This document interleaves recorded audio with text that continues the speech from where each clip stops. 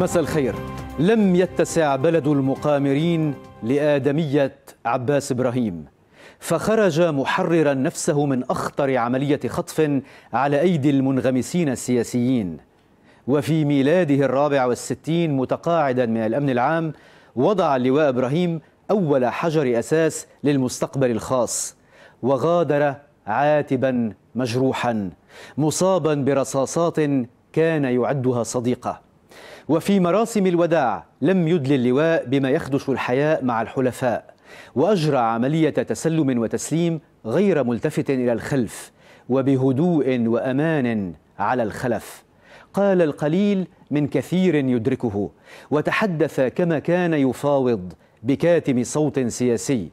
ارتضى في رده على أسئلة الصحفيين أن يعاتب نفسه فقط تاركا هنا مئة ألف وسؤال عن جيش من السياسيين خدمه عباس إبراهيم من دون تمييز أو تفرقة بين طائفة ومذهب وتيار وحزب وحركات عابرة للجمهوريات. وعباس إبراهيم راسم خط الحدود البحرية الجنوبية رفض أن يزيح خطا لمستقبله السياسي جنوبا.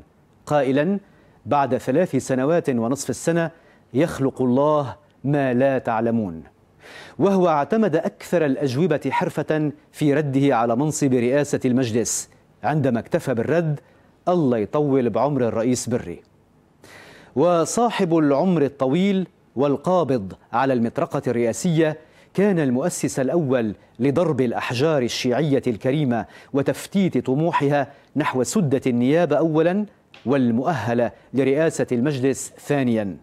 ولأن الطريق إلى الجنوب معبدة نيابيا بثنائي لم يعد صعبا خرقه فإن المهام الوطنية التي تنتظر اللواء عباس إبراهيم تضع على كتفيه حمل تأسيس قاعدة شعبية تستكمل هذا الخرق وتعمل على كتلة مستقلة عابرة للاصطفاف كما كانت شخصية هذا الرجل العابرة للطوائف والحدود والأوطان. وهي كتلة الردع التي ستحفز الجنوبيين على تكوين ثالث فشلت كل القوى والتيارات في تأسيسه على مدى أكثر من ثلاثة عقود.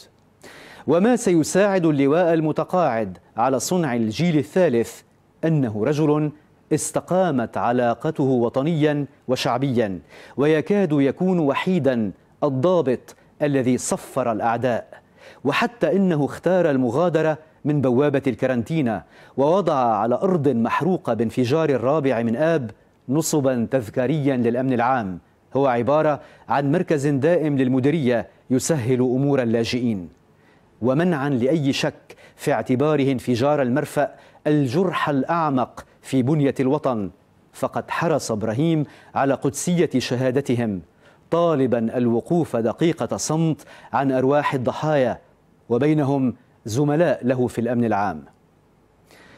تقاعد عباس وحي على خير العمل المشترك بين الثنائي نبيه بري نجيب ميقاتي اللذين قدما في مسألة التوافق على رفض التمديد أبرز دليل على زعيمين يسويان البلاد وأمانها بالأرض متى حضرت المصالح السياسية وهددت المستقبل المشترك.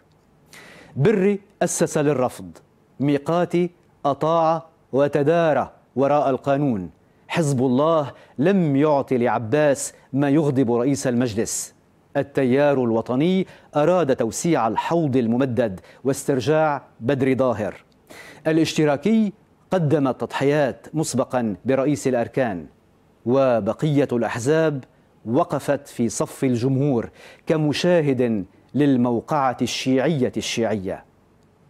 وعلى هذه النتيجة خسر لبنان مديرا مفاوضا لكنه ربح لواء متقاعدا وعد بأنه لا تقاعد ولا تقاعس.